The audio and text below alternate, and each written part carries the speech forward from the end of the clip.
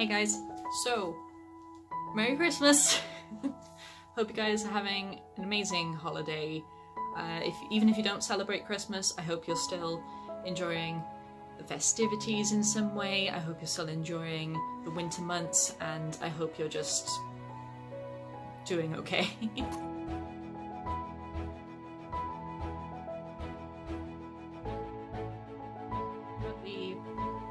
background. We're trying something new out in the garage, so everything's a little bit all over the place, but hey, that's just Christmas in general, right? So things have been a bit hectic, so I thought we'd just chill out and I'm gonna do another top five list. This time it's my top five Christmas movies because clearly I am in the festive spirit right now. so, I don't know, there's something about Christmas movies that even if aren't the biggest fan of them, if you're not a festive, Christmassy person, there's just still something nice about having them on in the background and hearing the music and yeah, even though like the Hallmark movies are the same blinking movie over and over and over again this year, in the past couple of years, Vanessa Hudgens, she's been really raking them in. But you know what I mean? There's just something warm and fuzzy about a cheesy Christmas movie that you know how it's gonna end, but you watch them anyway because tis the season. so yeah, we're just gonna have some fun and go over my top five Christmas movies. Here we go. So number five on my list is an oldie, but I love it with all my heart and it makes me cry every single time, and that is It's a Wonderful Life. Um, it's been kind of relevant this year because I have struggled a lot this year with my mental health. It has been the first year where I've actually spoken to a therapist, um, both in person and on the phone um, haven't been on antidepressants, but I was offered them, but I wanted to try the therapy first. That seemed to work really well.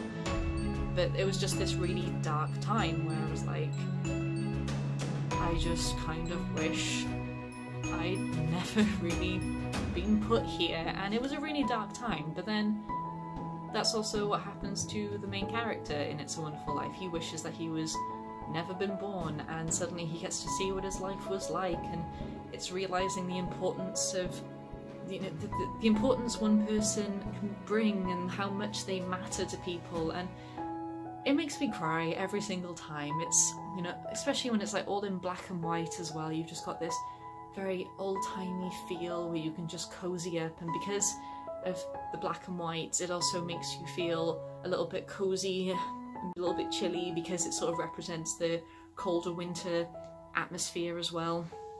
And I don't know what it is about this film, but I absolutely adore it. I love how classic it is. I love how heartfelt it is. I love how genuine it is. And it is a slow burn movie. It does take a while for everything to get moving because you do have to go through the main character's entire life before you can get to this major point, which is kind of where the whole movie is supposed to begin. In the thing, if anyone actually remade It's a Wonderful Life, he would be making that wish within the first 20 minutes, and then we would have an hour and a half of him wandering around in this alternate timeline of him learning this lesson, and it's just kind of that's not the point. that is not the point of the movie. We're not here to watch him have alternate timeline hijinks or whatever. We're here to see him and his life and how much he means to people. It's just such a good film. If you haven't seen it, I highly recommend it. It is a slow burn, it's not for everybody. It is very classic, old timey, but it, it's sweet, it's heartfelt, and it has such a great Christmas message, and I absolutely adore it, and it makes you cry every single year. My fourth one is a bit controversial because no one knows if it's supposed to be a Christmas movie or if it's supposed to be a spooky movie. No one has any clue, but of course it's Nightmare Before Christmas. I love this film. It is one of my favourite films of all time. It's so much fun and it's just got a right balance between Halloween and Christmas and it's a little bit creepy, it's creative, it is stunning, it's, it took stop motion animation to a whole new level. The music is fantastic. The voice cast is fantastic. And I love that they have this Santa who isn't this stereotypical jolly guy. He is a bit of a moody grouch, which you can completely understand given the situation. And yeah, it, it's such a it's a great movie and I love it so much. Making Christmas, making Christmas. My third favourite Christmas film is Arthur Christmas. I mean, Aardman animation, I mean, come on. But it's just the way everything is so British, but in such an over the top parody kind of way. Like, the Grandpa Santa, who is clearly incredibly stereotypical racist, but the way they do it with elves instead of with actual races is hilarious. The way you've got this balance between the very classic Santa, the goofy kind of Santa, and the no technology must be the new way forward kind of Santa. And then you've got the miss like the Mrs. Claus, who is just an absolute badass. But she just plays it off in this such calm manner and it's just so fun. It is funny, it is heartfelt, it is so over the top Christmassy. There's just something really genuine about this film. It is a masterpiece. I don't know how they managed to get this formula down, but the series of events, which I won't ruin for you if you haven't seen it, everything just flows so well and everything just comes together in this perfect way, this perfect balance where, again, I can't give spoilers, but I can't talk about this movie enough. It's got this right level between, it's a little on the childish side, but it's also got some very serious adult themes of like growing up and coming to understanding. It's just all very well done. And then you've got these characters which are so hilarious and like this elf that's obsessed with rapping but with this really amazing accent and she's so quirky and the little eyebrow piercing was an amazing touch and it's just got this great atmosphere to it where it's so Christmassy and so British but it's so quirky Aardman animation fun and I love it. If you're a fan of Wallace and Gromit, if you're a fan of Chicken Run, of that kind of humour, this is right up your alley. It's amazing. I love it. Number two,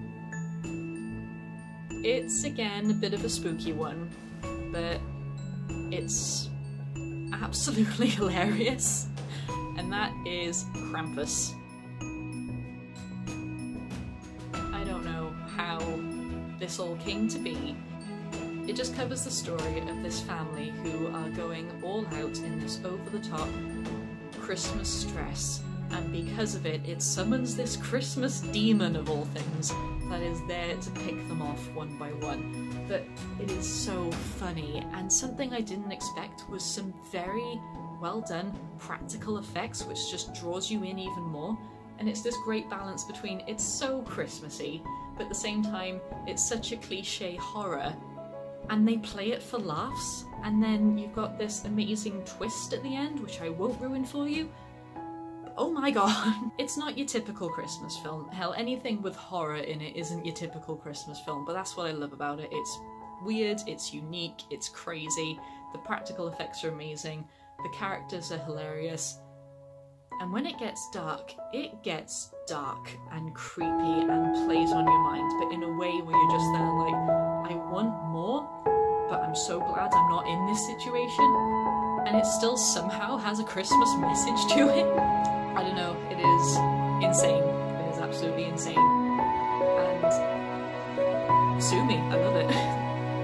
Um, number one Christmas movie is actually one that came out this year. I think it's number one simply because it's been out this year and it's still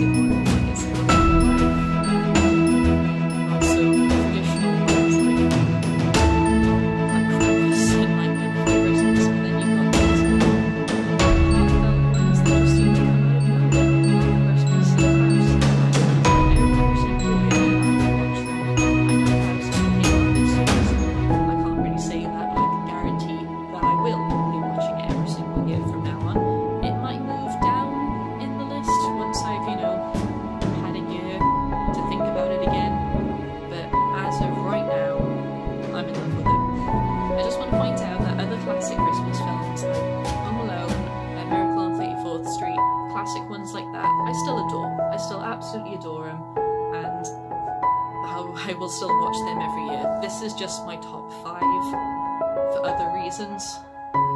So, you know, don't come at me. so let me know what your favourite Christmas films are. I really want to know if there's any other holiday films out there that you're in love with that sort of take part around Christmas. Let me know. I want to broaden my horizons and see as many Christmas films and holiday films in general as I can. Please let me know. Christmas. so yeah, I hope you guys are having an amazing holiday. I hope you're enjoying every single moment of it, and I hope it's making you merry and light and jolly and all the rest of it. So I will see you guys in the next one. Merry Christmas. Have a good one. Bye.